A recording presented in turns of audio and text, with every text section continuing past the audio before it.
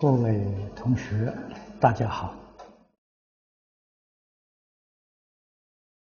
请看《感应篇》第十五句：“是道则进，非道则退。”那么从这个地方起啊。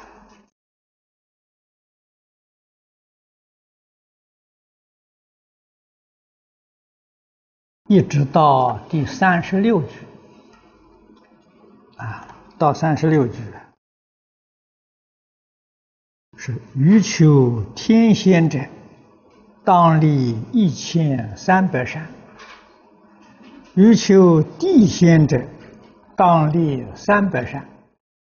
那么这个一段都是讲福报，啊，在全文呢。是第三大段，这八个字是总说啊，是道则进，非道则退。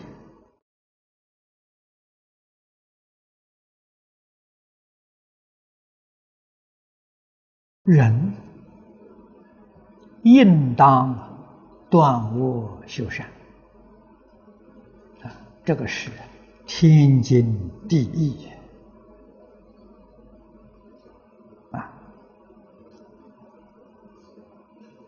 一切众生，哪一个不求福报？哪一个希望遇到灾祸？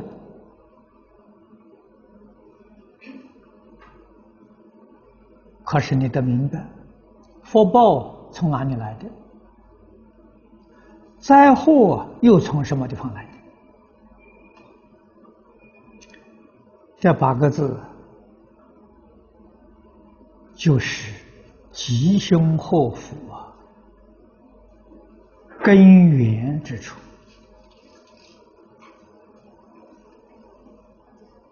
可是这八个字里头的关键呢，这个“道”字，这个“道”怎么讲法？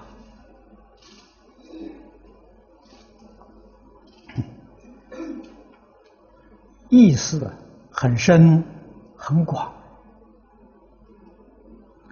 通常说道是理，道理，道也是一条路。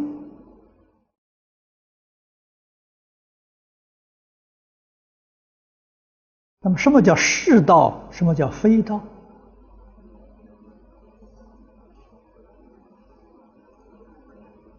这是我们要辨别清楚。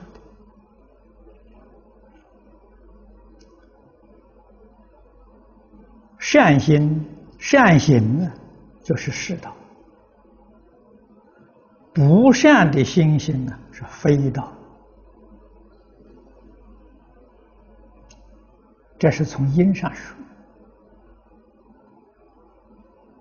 啊，是吉是福，啊，这就是世道；是凶是灾是祸，那就是非道。这是从果上说的，这些理事因果，我们都要明了啊。在佛法所列的标准呢，就是信德，凡是。与性德相应的，这就是世道；与性德相违背的，那就是非非道。性德讲到基础，是一念心性的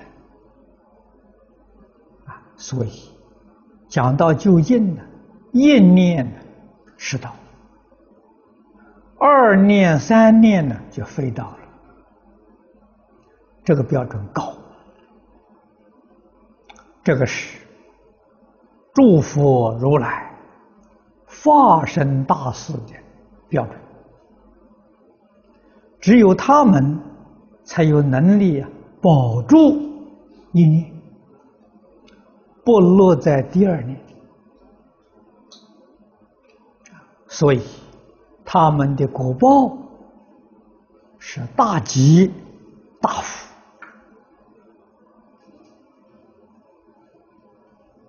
啊，不可思议的境界。大乘经里面常说的一真法界啊，一真法界是从哪里来的？从一念来的。如果一念，我们守不住，保不住，变成三心二意。这个就会变现出设法界一真庄严啊！所以设法界一真庄严对化身大师来讲呢，非道啊！我们要明白这个道理啊，自己做不到，但是不能不知道啊，知道的好处。在修学过程当中，不至于得少为足啊！知道现在的境界很有限，还要发奋努力，不断向上提升。可是，在我们眼前，我们把这个道德水平降低。降到最低，那什么是道？无戒十善是道。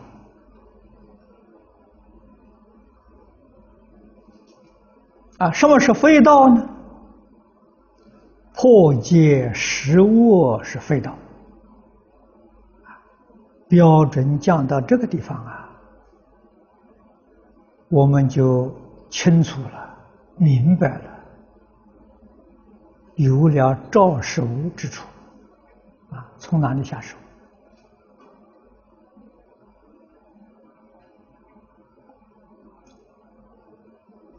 这是讲的一般大众啊。如果对我们念佛同修来说，啊，念佛同修，你为什么念佛呢？念佛的目的何在？希望求生净土啊！那换句话说，这个希望不能落空啊，一定要实现啊！哪怕是凡圣同居土下下品往生。都不落空，你的愿呢都满了。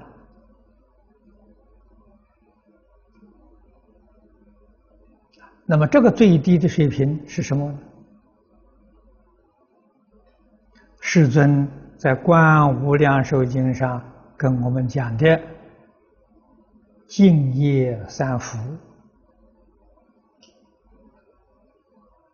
这是最低的。水平呢？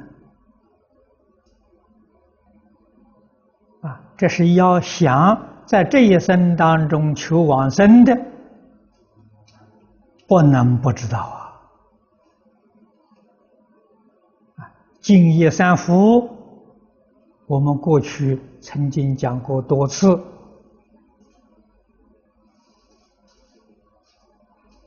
有录音带。也有录像带，啊，好像也有小册子流通。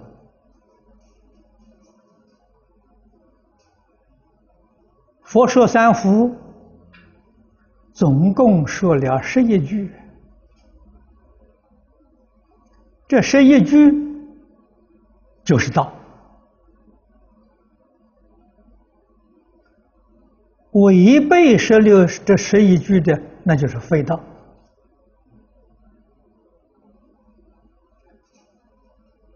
第一佛里头，人天福啊，也就是人天之道啊，你能够奉行，你生生世世不舍人生啊，你不能奉行，那就是非道。非道就是三恶道啊，必定堕三恶道。这四句话是孝养父母、奉事师长、慈心不杀、修十善业。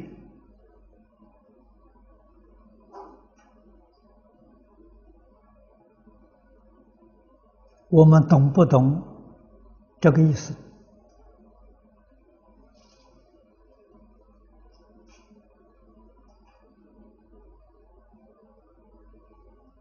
我们肯不肯去做？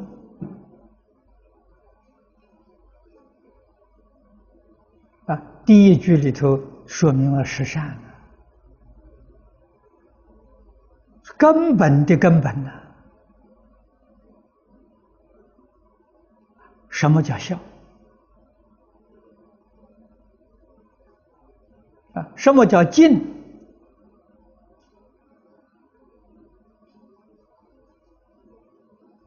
不能不清楚，不能不明白啊！在这个地方，我就不多讲了。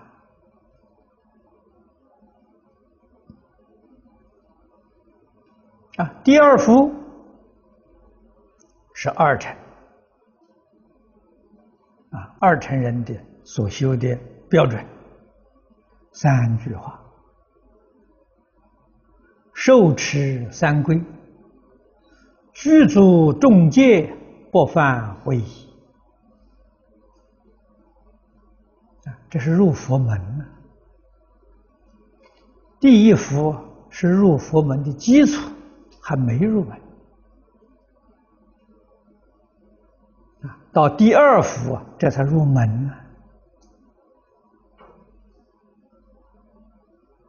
作为佛的弟子、佛的学生，我们想一想，我们有没有资格做佛的学生？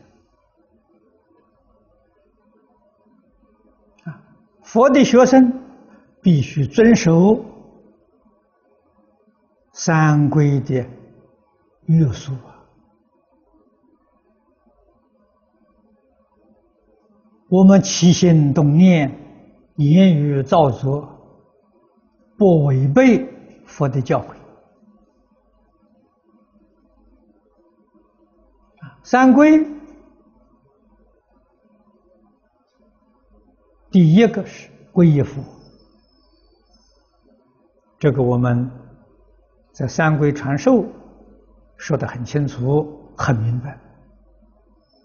皈依佛是觉而不迷。我们起心动念、言语造作，是不是觉而不迷？啊，觉这是世道，迷是非道啊。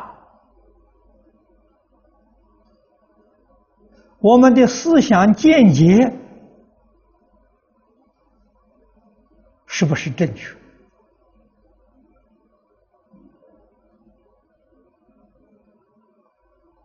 思想见解纯正，与佛相应是道；思想见解不正，邪知邪见。非道啊！啊，这是归法的意思啊！啊，第三归一生，生是六根清净，一尘不染啊！我们想想，我们的心清不清净？我们的念头清不清净？我们身清不清净？我们居住的环境清不清净？啊，清净是道，不清净就是非道啊。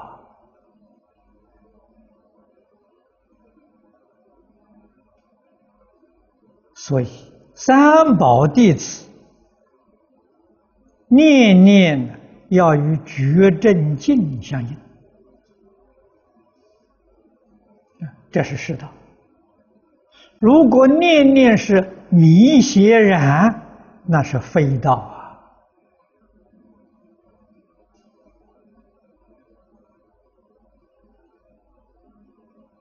思想、言行要以戒律啊，特别是初发心的人。实在是来说呢，从初发心到如来地，等觉菩萨都严持戒律啊。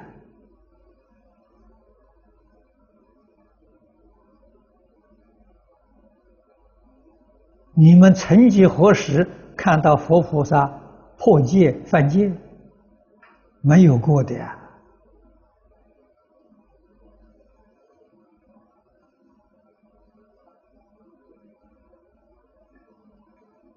啊佛菩萨的形象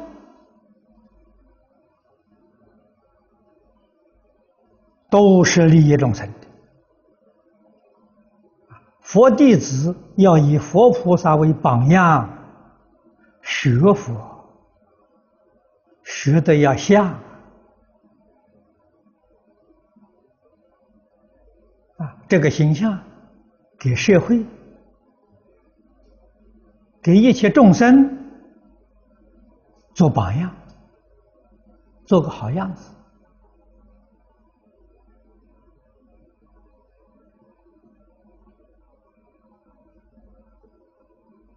我们要懂这个道理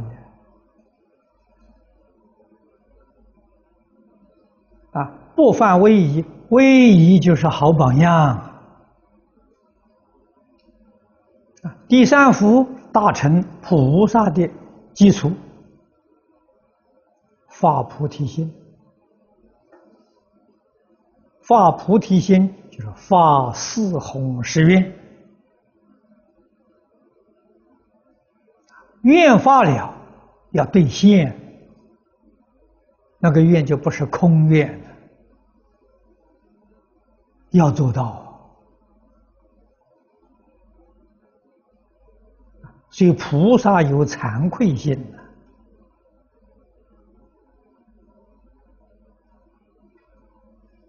惭愧，在策立他，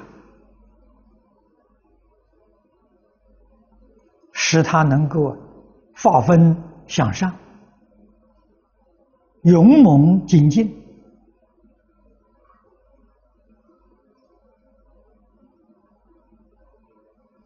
惭愧是道，无惭无愧，不知道羞耻，那是非道。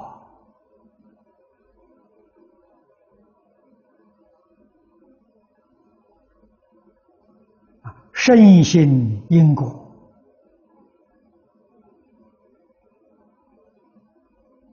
我讲这一句的时候，讲的很多啊。这个因果不是普通的因果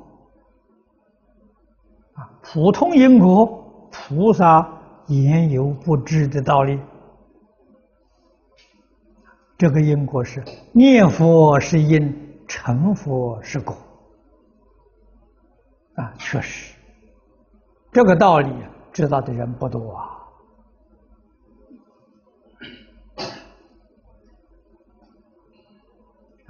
读诵大臣劝进行者，啊，读诵大臣就是亲近诸佛如来，一天都不能空过。每一天都要亲近诸佛如来，啊，诸佛如来在哪里呢？住大乘经就是诸佛如来，每一天要读诵啊。读诵的方法，先亲近一位善知识，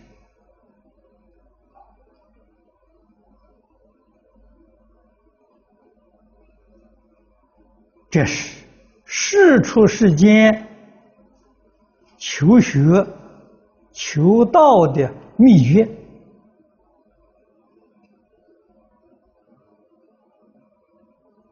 古时候人所说的师承啊，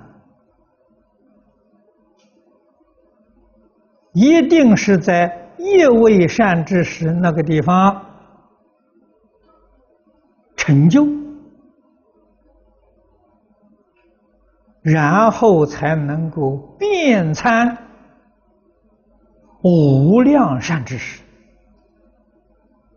啊，在一位善友座下。成就参学的本领，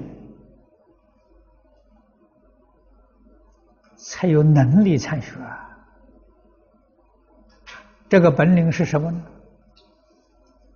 般若经》上讲的根本智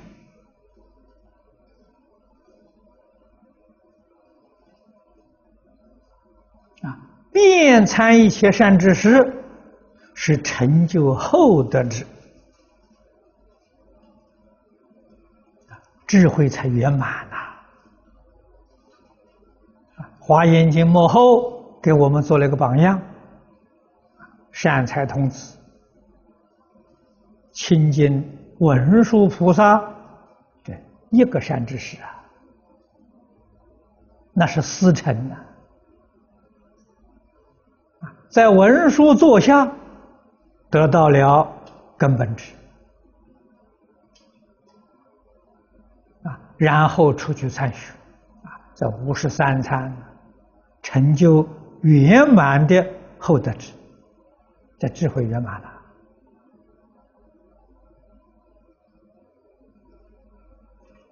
没有根本智，你就没有能力参学。啊，根本智是实质，震慑智慧呀。他有能力辨别真妄，有能力辨别邪正、是非善恶厉害，啊，他一接触就明了啊，所以出去参学。无论遇到什么人，无论遇到什么事，对他都是开智慧，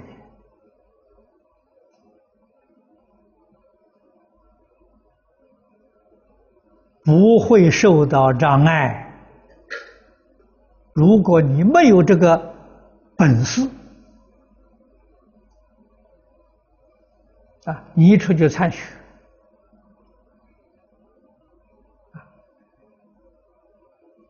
一个善知识指你一条路，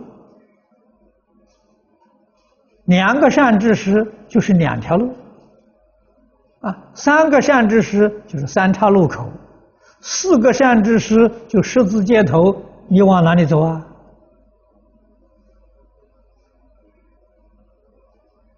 你无路可走了，你有本事。你能够辨别，能够认识，那就不怕。啊，亲近再多的善知识，你的方向、你的目标，决定不会变更。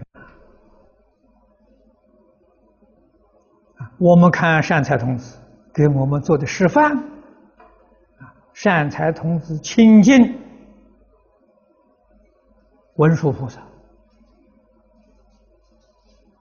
文殊教他什么？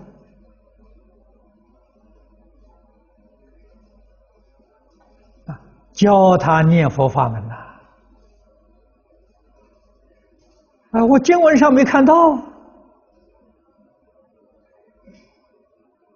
文字上没有啊，意思具足啊，意思在哪里？文殊菩萨求生西方极乐世界，这是他最得意的门生。如果不继承他的衣钵，怎么能说传法弟子呢？你要明白这个意思啊！世尊教给我们四义法里头，一意不一语啊！你要体会到这个意思啊！啊，那么再看看他出去参学那个形象啊，第一个善知识吉祥云比丘，教他什么？教他波州三昧。波州三昧是专念阿弥陀佛，佛力三昧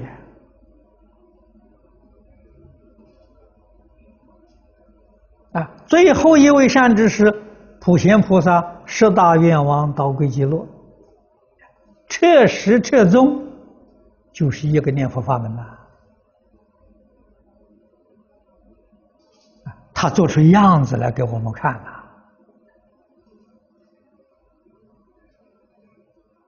那是世道要进呐，勇猛精进呐。